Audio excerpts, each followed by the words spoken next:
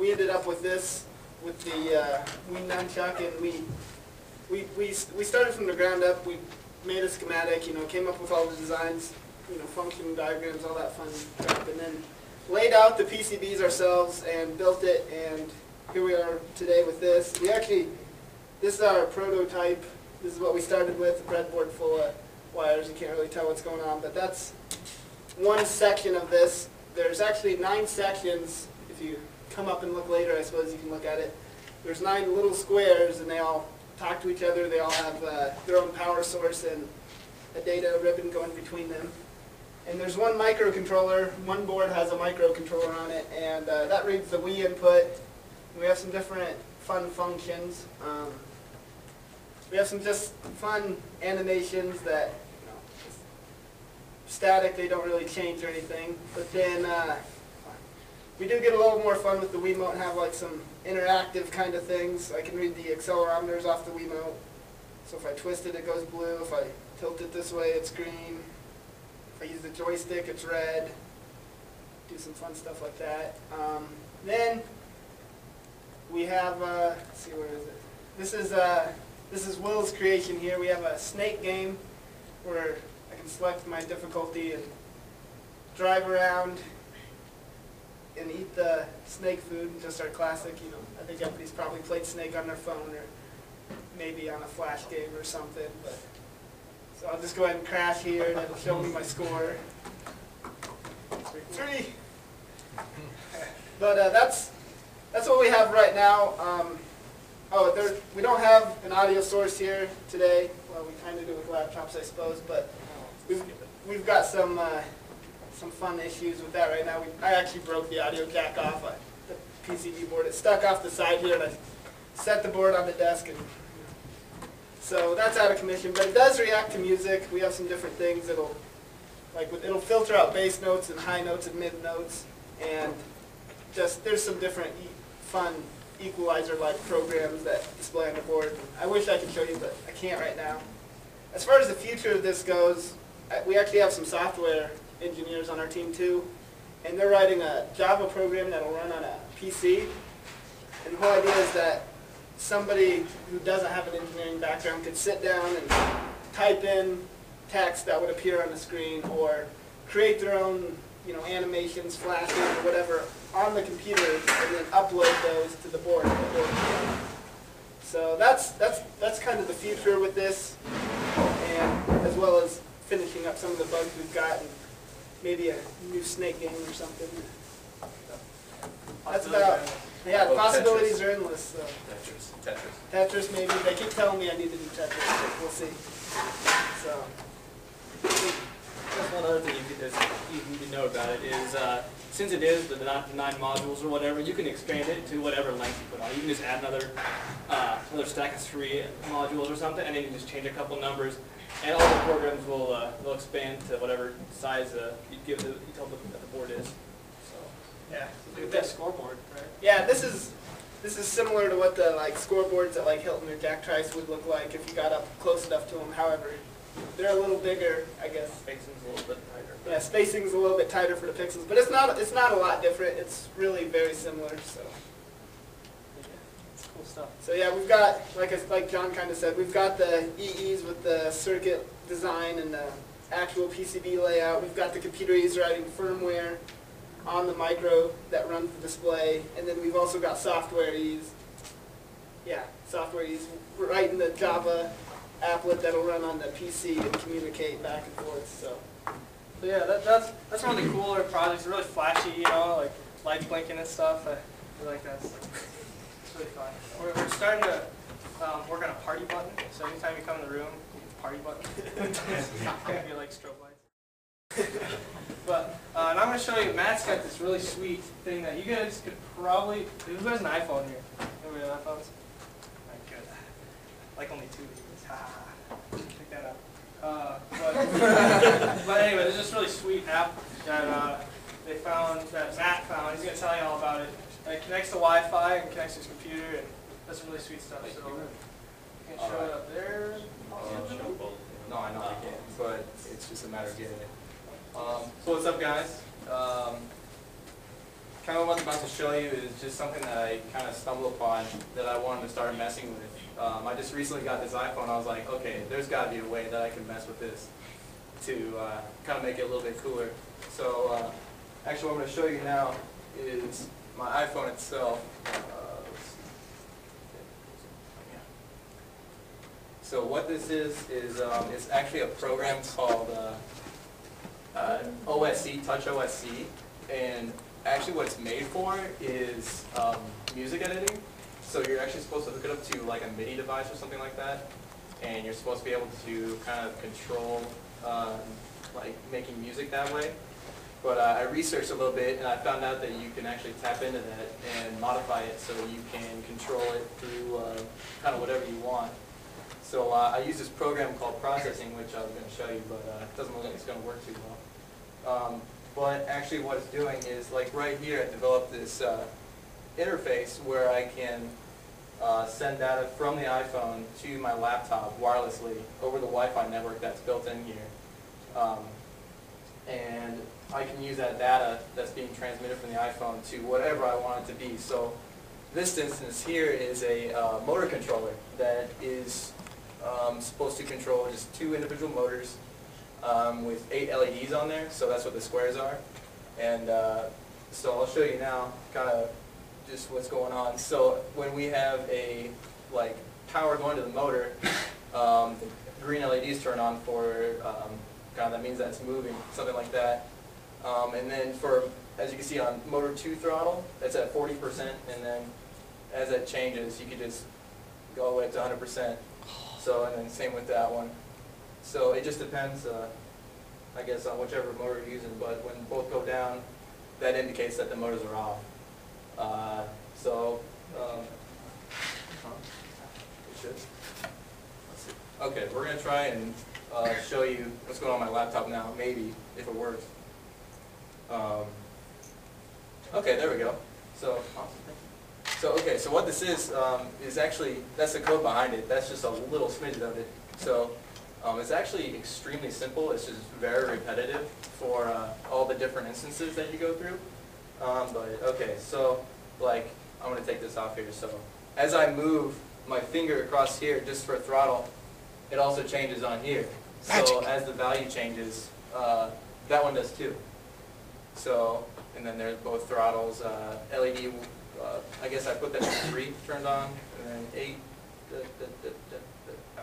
So, that kind of thing's going on. Uh, so, So, kind of for some, what? yeah, I was gonna say, what are you what are you gonna use this for too? Here. Um, so kind of a future project uh, that me and Nathan here want to do is a uh, Segway kind of miniaturized robot that uh, will auto balance itself. Um, and then kind of after that, we want to be able to control it with this. So like if we want to go forward, just move both motors forward, and hopefully that'll be able to go forward. So, and uh, like the implementation of this is almost limitless in a sense because you can do so much with it. Um, the interface is definitely interchangeable to whatever suits your needs.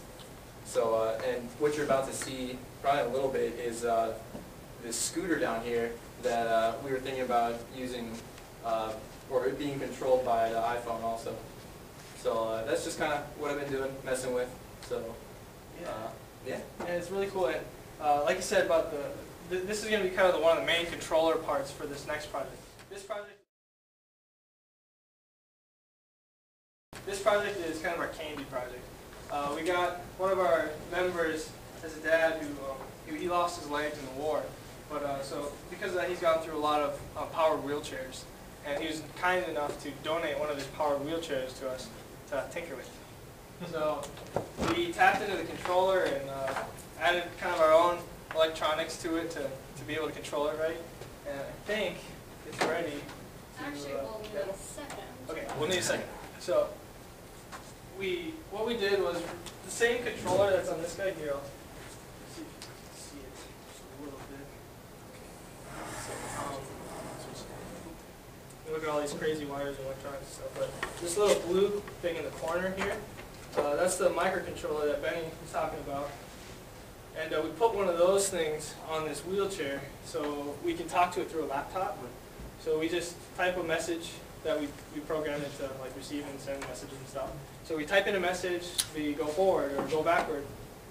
And um, so now, now we can actually control it from a laptop. And if, we- I'll show you a video in a second. Can we pull up our C2 set? Yeah, go ahead and use mine. I'm going to show you a video after this demo about how we actually got it to do to be wireless. We kind of did what what uh, Matt was doing, and it made this guy connect to the Wi-Fi network, and then we also connected to the Wi-Fi network from a, a desktop, and we're able to control it wirelessly. It's a little bot running around. It's really cool. That's it. Go ahead. Unveil the robot. Okay, we're kind of on a slower speed right now. Uh, want me to? Okay. Alright, so this is our this is our newest candy project. If you guys want to come down, you can take a look at it. If you guys want to come on down, take some pictures. I don't care.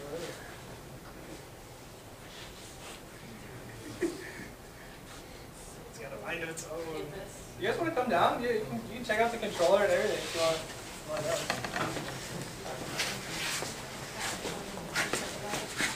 Yeah, and uh, it's gonna be completely wireless eventually. We're, like I said, we, we're gonna connect it to the Wi-Fi network and be able to control it from anywhere. So we don't have to worry about these guys. Uh, oh, thank you. Uh, so yeah, you. As I say, we're connected just through an Ethernet port and USB. Right now, the only signal coming from the laptop to it is through the Ethernet cord. The USB cord solely to power the board. If you put a nine volt battery on the board itself, you wouldn't even need the USB cable. And then all you'd have to do is put a uh, wireless access point on the bot and it would be completely wireless. And the sweet thing is, like, you know how they advertise, like, oh, uh, ISU campus is Wi-Fi everywhere. Um, so that, that kind of helps us in that uh, we can control it from anywhere on campus. And what one of our other members did before he graduated, we hooked it up so that there was a camera actually traveling along on this. And, I mean, you could basically direct it from your computer anywhere in the building that it's in and, I'm Yeah. sorry. This thing has a ridiculous amount of power behind it, so it'll run over anything. And we've had some troubles with that, but, you know, that's the fun part about it. But that also helps us out because, you know, we basically run it pretty much all day. Yeah. One charge, Wherever we go. wherever we want. It Has lots of power, put whatever attachments we want on top of it. Kind of our future plan. It's already running. Yeah, here, I'll show you the video. We have a, we have a fan site, Critical Tinkers, so if you wanna become a fan on Facebook, you should definitely do it.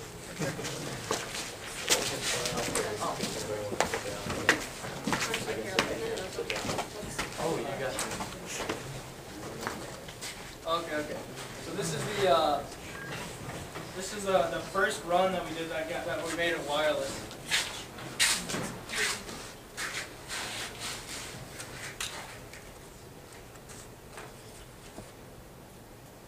Uh, Real quick here, so, so here, I'll go through this.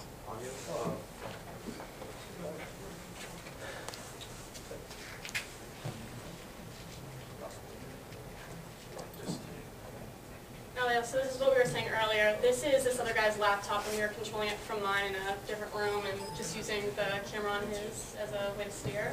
So, Doing like a, what is it, kind of chat? iChat, yeah. iChat. All the Mac users.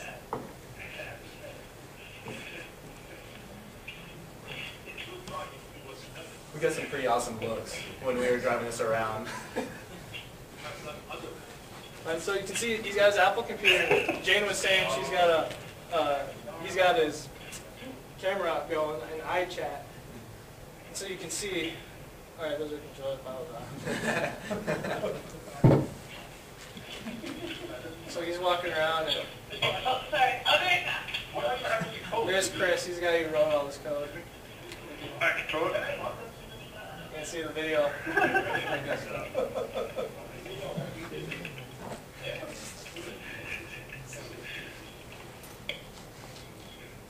It's all the flashy code.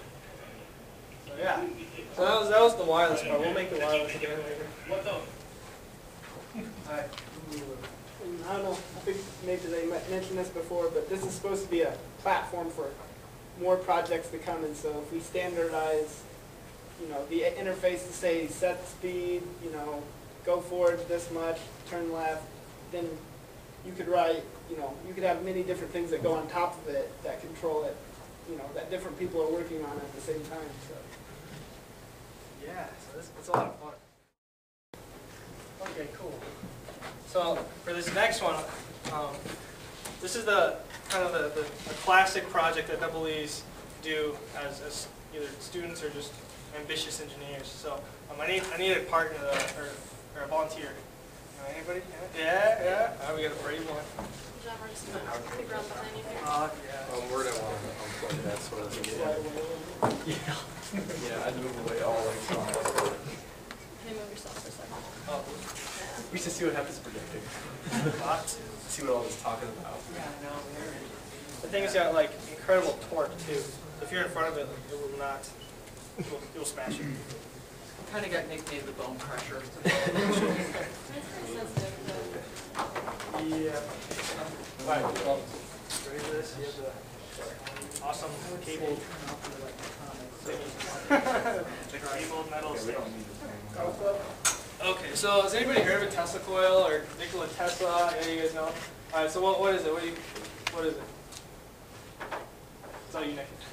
It's, uh, it's it basically uses high frequency, uh, high voltage AC to do really fun stuff with like lightning, Yeah. plasma streamers and stuff. Yeah, absolutely. So, so that, he's absolutely right. It uses very high frequencies. It operates at very, very high frequencies and very, very high voltages at this, this hat point right here. Um, so what this device is basically is it creates wireless energy. Um, so you, you've heard of, have you seen those power mats? You know, those things that like, you know, those little mats that you can put a chunk of thing on your phone and it, it'll, it'll charge your phone while just putting it on the mat. Heard of those? Well, if not, check it out, PowerMat, it's really cool. Anyway, it operates off wireless power. And so that was Nikola Tesla's dream when he was, uh, I can't remember, it was like late or mid 1800s. Or actually early 1900s, excuse me. So, so this was kind of his design. He did a Tesla coil. And so what this does is it creates a huge amount of energy in these, um, all these devices down here, amplifies it to even larger amounts of energy to, at this point right here, at this hat point, and uh, then discharges it to anything that's nearby. So when it's not, when nothing's nearby, it's actually emanating power. Um, and you can't feel it, but it's actually going through you. So it's really cool.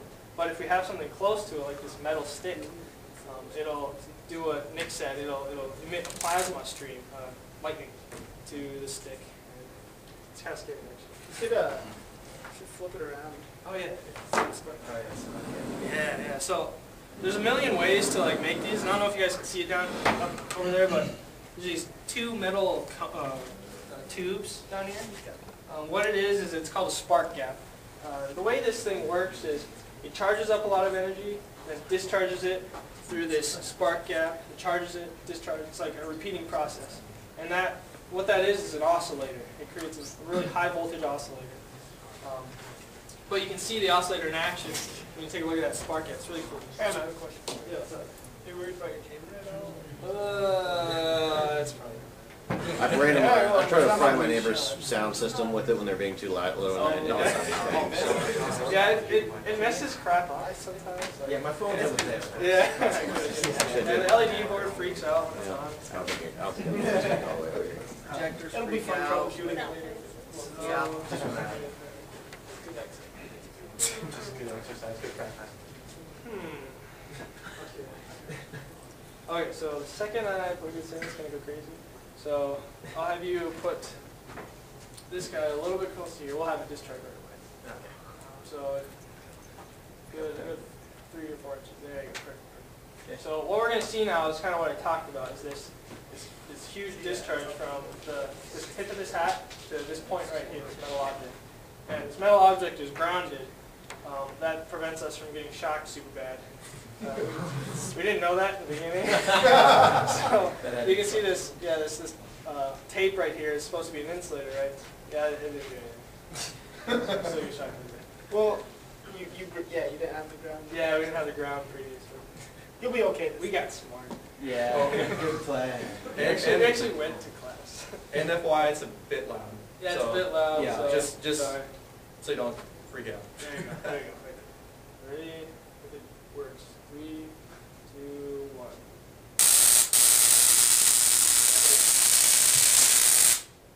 Oh, that, was that, was a capacitor. That was, yeah. was it really? Yeah, that was a capacitor. Yeah. Yes, the first one.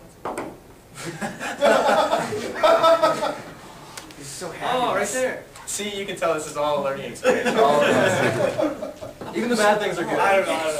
That was really cool. So I can't believe it finally happened. And we miscalculated our, our capacitor design. And so what it's been doing is, uh, each time it makes one of those clicky noises, you see those sparks right there? Each time it sparks, the uh, voltage goes way above the rating on the capacitors. Um, so eventually it just kind of like dies out and stops working. I started popping. Yeah, that was an act, that was a legit arc. Alright, well, well, we'll try that again. Let's see if it still works. Alright, ready? Ready? Three, two, one. Oh, It's like Yeah, or that- three, I- Yeah, that's, Yeah, everybody stops doing that. Anyway, so that was our Tesla coil. So this is, this is one of the things, the cool double E oriented things that we, we did. Um, Looks like we got, see, see, look at this, it's nice. It was down here. yeah, it was on the bottom. Lower left Bottom corner. left corner there. Oh, yeah. Well, luckily we made it modular, so we can just take that whole chunk out and just replace it. Money, money, money. Anyway, so, I don't know, do we have anything else to show as far as? Oh, um, But one of the nice things, like, uh, I just recently joined this group, and uh, one of the nice parts is, even though I'm a double E, like, you can see that I've been doing a lot of more, I guess what you would call computery stuff. So um, I guess it's just a nice way to kind of get the best of both worlds. So, I'm, I'm kind of curious. Computeries? Double E's? good now. Software? Other? Other? Yeah! What's the others? What's Aero? Aero? Nice. Cool. What's yours? Okay. What's your major? Uh, W. Okay. Computer? Cool, cool, cool. All right, well, yeah, so that, this is kind of what we do. Um, again, we're critical tinkers. You can find us on Facebook, uh, You can Google it and yeah, yeah. Twitter now. Yes, Google critical tinkers. And one thing we don't mention too often because we're focused so much on projects, we actually get to do quite a bit of community service through this. I mean, we were just at a nearby elementary school a few nights ago, you know, getting them actively involved in all this stuff. And so there are lots of opportunities for that. We do, we do have, There's we social have, we have nights, too. social nights. I'm I mean, totally as social as, lame. You know, you're engineers too, I suppose. As social as we can be, I suppose. We go out and eat pizza and we had Halo night and talking about doing an office space movie watching night kind of thing. We do hook up and do homework sometimes too. Yeah, that's you true. know. Yeah, I forgot.